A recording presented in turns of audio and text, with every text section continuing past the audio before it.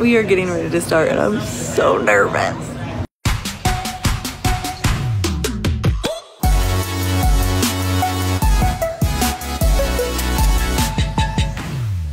Welcome to my world. So, I am actually headed out to get a tattoo. I have a tattoo on my foot. I've had it for 17 years. And I'm to get it added onto, some detail added, get it spiced up, kind of like a, kind of finished, I feel like. And then I'm to get um, maybe my dad's handwriting be true, be you tattooed in his handwriting, maybe. We'll see.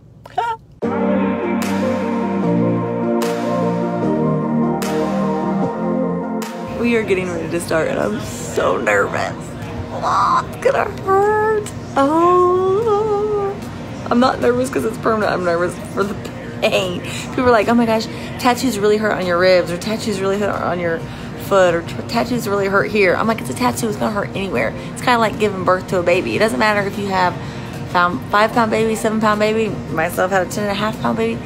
Shit's gonna hurt. It's gonna hurt no matter how big the baby is, and it's gonna hurt no matter where you get your tattoo.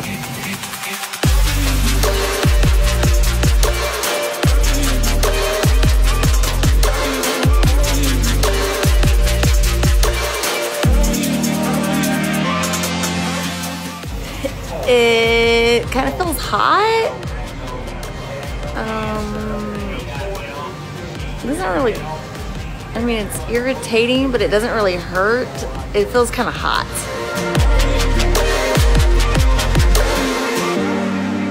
It's my dad's handwriting, it says "Be true, be you." He taught me so much about authenticity and doing me, and so I'm doing this, and I'm freaked out. Like that's for real.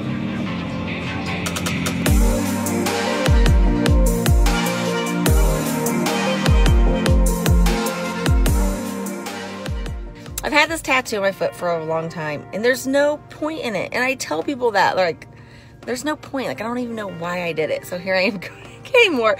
And the same thing, like, with my dad's handwriting and the be true and the be you. Like, there's no real point in it other than my parents are a huge reason for the success that I've seen so far in my life.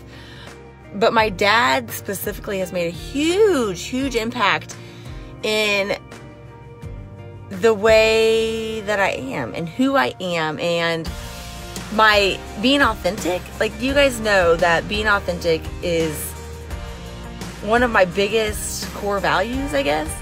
Uh, whether you like it or don't like it, I'm going to be true to myself.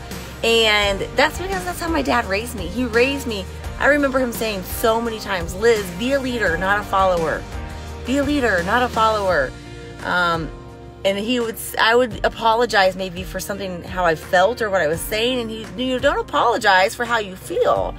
Be true. Be yourself.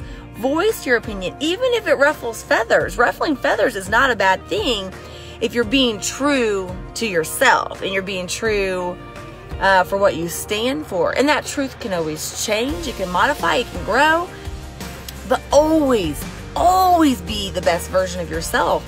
And I was, I was raised to be a leader, not a follower. I was raised to be unapologetically myself. And so authenticity is a huge core value for me, and I try and uh, spread that to other people, um, encourage other people to be themselves.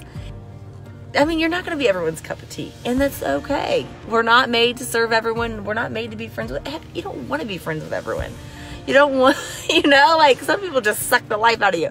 So the point is, this tattoo represents being authentic and I got it in my dad's handwriting because he's had so much influence in my life um